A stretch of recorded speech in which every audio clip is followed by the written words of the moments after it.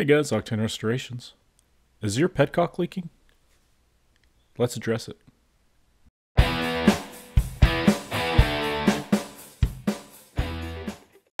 hey guys, got that out of the way. So today, as it suggests, we are going to be fixing a leaking petcock on this GL1500. If you saw underneath the motorcycle at the beginning of the video, there was gasoline on the ground. It was just a little bit, but there was still gasoline.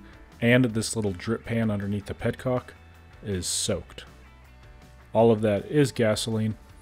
And I believe it came from the petcock. That was my diagnosis. And so we're going to go ahead and we're going to rebuild that bad boy.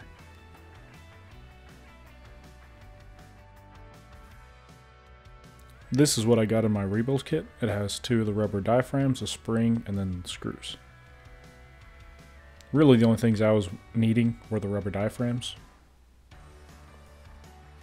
Like I showed you earlier, my drain pan was wet, so that's there to catch fuel that leaks from the petcock, and then it drains down in a safe area to where it won't drain down onto the motorcycle, catch fire, because that'd be a fire hazard. Who wants that?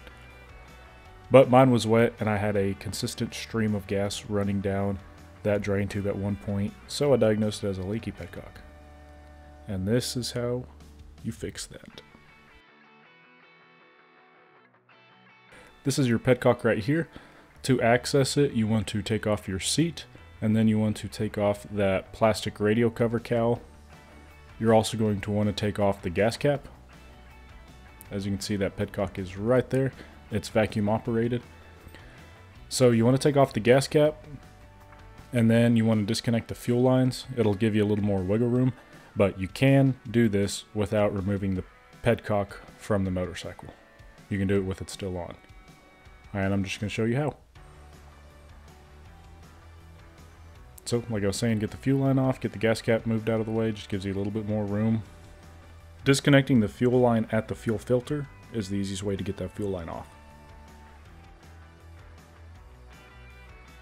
If you saw part 9 of the 1996 Goldwing Restoration series, nothing really new is covered in this.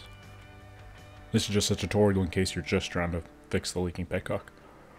So you take those four JIS screws out, kind of look like a Phillips, and then you have this two-part diaphragm, this plastic cap, and this spring. You don't want to throw away that plastic cap or the spring or the metal piece that connects both of those diaphragms because the rebuild kit normally just gives you the rubber pieces and Phillips screws. I'm just showing you how I took it out. That's how it sits in there and of course with the spring on the plastic side.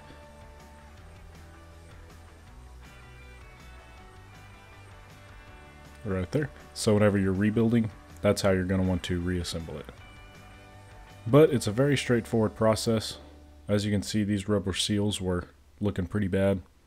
I couldn't see any obvious cracks or deformations, but as you can see, it was getting dirt and stuff in there. I maybe could have cleaned them and got a decent seal, but the kit was like 20 bucks for this 1996 GL 1500. So I just went ahead and I'm just going to rebuild it. You just pull it out right there. And there it is. So the kit does come with both the small circle and the large circle. You just pull them out of there. They just have a little nipple that goes in the hole.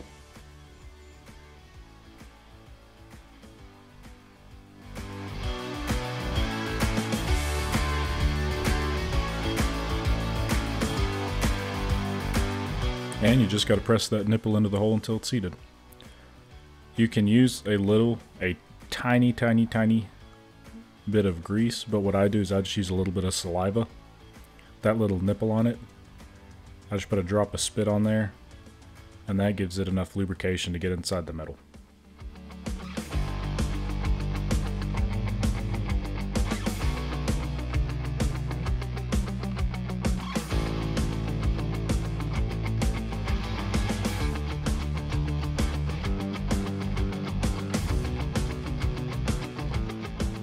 Trying to be as careful as I can with taking that top part off because the top part didn't look torn or didn't have any holes that I could see.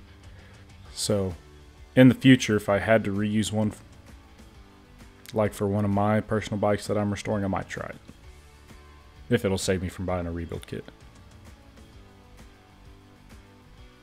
But with rubber parts, I'm always iffy about reusing rubber parts. Just because, you know, they get cracked and torn and everything like that. So there's that same, you know, little rubber nipple that just goes into that metal tube. Again, just a little bit of saliva. Gives that rubber a little bit of lubrication whenever you're putting it on the metal. And there you go. You're going to fold up the big circle just like a reverse of whenever you pulled it out. If you're having trouble with the rubber sticking, like making a good connection around the edge, if it's sliding, you can use a little bit of dielectric grease.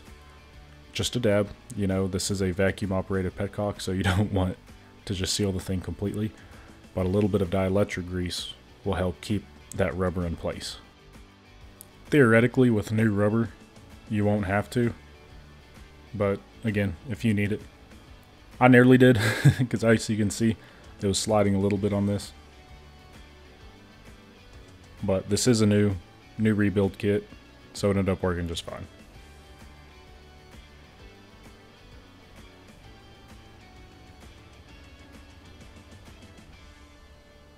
But you just want that rubber edge seated properly, like it is right there. And again, if you're having trouble sticking, just dab dielectric grease. And then the smaller circle goes into the motorcycle. Goes into the into the attached petcock assembly. That's what I was saying about having to fudge with it. A little bit of electrode grease would have helped me there, but it was back in the shop and I don't want to walk all the way out there.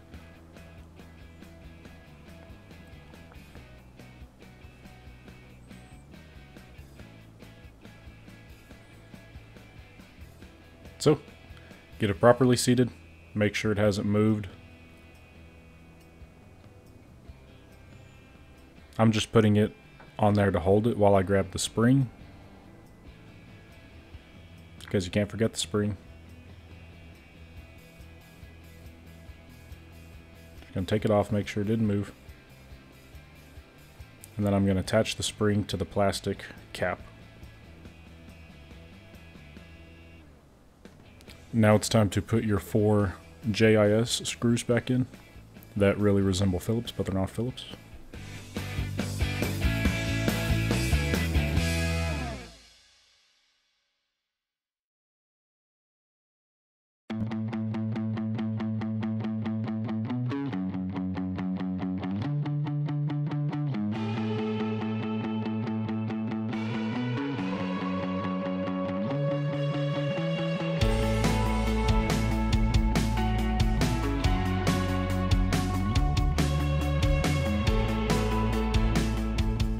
You do want these tight because you know you don't want any fuel leaking by, but you don't want them too tight. If they're if you over tighten them, there's a good chance that you'll strip out the head of this, and that's the last thing you want to do. So you just want it really snug, but you don't want to turn it to the point to wherever you're stripping out the screw.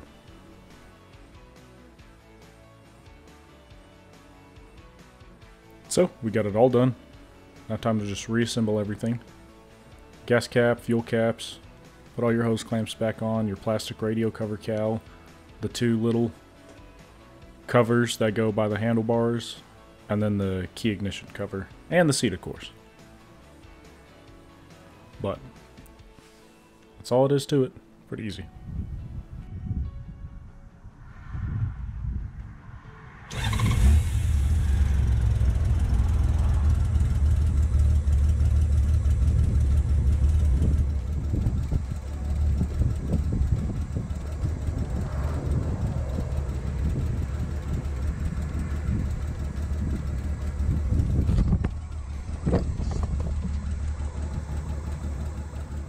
So the leak is no more. The Petcock rebuild kit did exactly what it was supposed to. We don't have any more gas leaking from the Petcock into that little drain dish. Life is good. So, again, this is Octane Restorations. Thanks for watching. Uh, After this point, all you got to do is reassemble it. If the video helped you, please consider giving it a like and subscribing. Thanks again. Hope you have a good rest of your day.